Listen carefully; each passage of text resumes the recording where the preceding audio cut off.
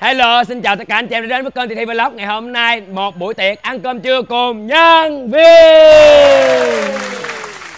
Em sẽ làm món đó chính là tôm rim.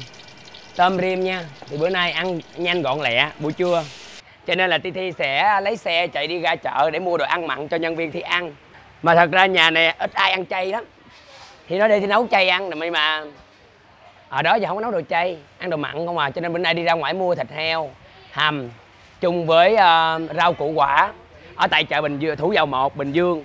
Thì đây là nhân viên thì đang bán nè với tất cả các khách hàng đang đến. Thì bây giờ em xách xe em chạy đi chợ nha em đi dạo một vòng mấy đứa nhà bán nha. Thật ra là buổi trưa thì cũng hơi rảnh nha rảnh rỗi ha rảnh rỗi vui vẻ. Buổi trưa thì quán nhà thi cũng hơi lại ra à tại vì đầu giờ. À, thi cũng tranh thủ để làm việc này việc kia để uh, mình có những uh, video clip mới mới hay hay. Em sẽ chạy những cái khu vực mà uh, đi chợ và đặc biệt đi mé sông này nọ vào buổi trưa. Để em quay cho tất cả anh chị em mình ở tại nhà thi gần ở đây à bây giờ đi ra cái đường này tí xíu à ra tới chợ 5 phút à là tới rồi. Mà nhân viên thì nó thích đi chợ lắm. Bữa nay nó lãnh lương rồi. Tất cả các thành viên bên thi lãnh lương xong rồi. Bây giờ bữa nay thi về thì sẽ tụ họp nhau họp báo nhau đều có một cái chuyến tổ chức đi chơi Hà Nội và Hạ Long Bay. Nhưng mà Thi cũng rất là vui bán gần 3 tháng rồi. Bữa nay trả lương nhân viên trả tiền nhà tiền đi tiền nước thì ok còn dư được à, 30 triệu.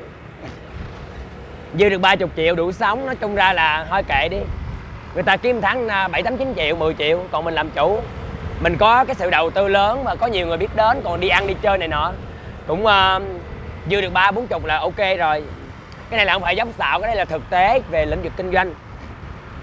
Tại vì mình phải tính cái tiền mình chi ra tiền đầu tư ra tiền uh, mướn tiền thuê tiền này tiền nọ đủ thứ. Tại vì mọi người cứ nghĩ là hơi bán là ra là được liền. Đâu có đâu bán có bữa được bữa không chứ.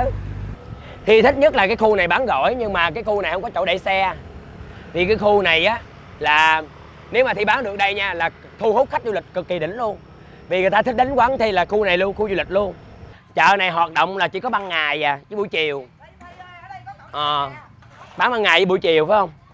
Chị em mua xăm về nấu uống đi chị. Mua cho nhân viên nấu uống đi. Cái này nè nấu uh, cái này uh, phổi. Này chị phổi nè. Còn cái này chị uh, cái này uống thơm mát. Lấy cho em nguyên set luôn á. Mua set mà cỡ nhiêu tiền? 200 ngàn đi. Ê này nhiêu dạng bịch nhiêu?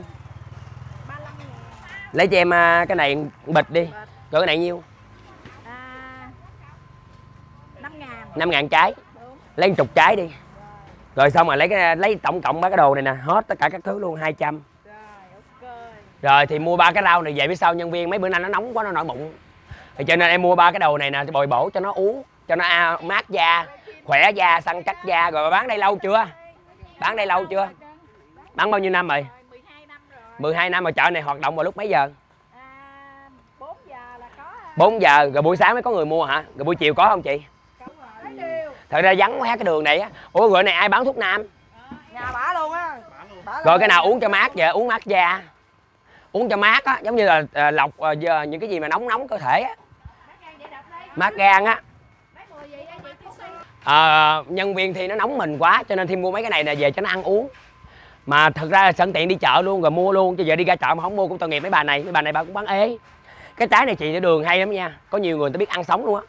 Trái này tôi kêu bằng trái nhào đó trái nhào nè nhưng mà mấy bà mấy bà bán thuốc ở đây bà cũng giỏi nè bà cũng chuyên nghiệp mà bữa nay tôi cũng tình cờ cái đây gặp đi. Ngày hôm nay em đi ra đây em mua củ dền em về em nấu canh với lại khoai tây. Cho hỏi tí xíu coi bán đây mấy giờ tới mấy giờ vậy? Bốn giờ rưỡi sáng rồi đi ra đây bán cho đến chiều. Rồi à, bán cho công nhân tới chiều mới hết phải không? Cho em hỏi chị bán đây lâu chưa? Rồi bán ở đây thuê hả sao? À, của mình luôn bữa nay buổi trưa, em chưa đặt cơm cho cho nhân viên em ăn nữa. Em sẽ làm món đó chính là tôm rim. Tôm rim nha. Thì bữa nay ăn nhanh gọn lẹ. Buổi trưa, em sẽ cháy tỏi. Đây. Mình cháy tỏi cho vàng lên nha. Rồi mình sẽ cho gia vị vô. Mình rim tôm chua chua ngọt ngọt. Đây là đường thốt nốt nha quý vị. Mình sẽ cho nó tan ra một cái. Ăn gọn lẹ luôn. Cái này món này nhanh nhất. Món này là dễ làm nhất đó. Em vô trong lấy me cho chị đi em. Tôm rim me chua ngọt. Tôm rim me chua ngọt nha quý vị. Cho nên là nó phải có ngọt ngọt, chua chua, cay cay. Đó. Gồm có đó chính là dầu hào. Dầu hào. Và đặc biệt nữa, nước tương, đen. Rồi mình nấu gia vị này nha. Gia vị này nó đều có là chua chua, ngọt ngọt thì à, cây cây nữa thì nó rất là thơm ngon. Đây nha, cho nó đậm đà lên. Tôm nha. Đó. Tôm này là tôm của thi bán đó, bán gỏi luôn. Đây. Tim ghim luôn. Đó. Thì mình sẽ làm lên cho nó đỏ con tôm lên một cái, bắt đầu nó kẹo lại một cái là ăn nước miếng miếng là ăn vừa. Đó. Giờ cơm chín kia em. Chín rồi phải không? Cho lá hành nữa đi em. Tôm ghim, với lại à, có lá hành nữa thì con tôm mình rất là ngon luôn nha. Tôm ở nhà đã có sẵn rồi. Chỉ cần một cái là lấy ra là làm luôn thôi. Ngon quá. Cái này là quất người chén chén chén chén là nhức nách luôn. Đó, mỗi ngày à, nhân viên thi nói chung ra là nó ăn, món ăn của thi làm mấy bữa nay, nó cũng ghiền. Thì tất cả anh chị em làm như thế nào thì mọi người có thể là góp ý, comment phía bên dưới nha. Còn thi là thi làm theo cái cách này là nhanh nhất, là gọn nhất. Đó.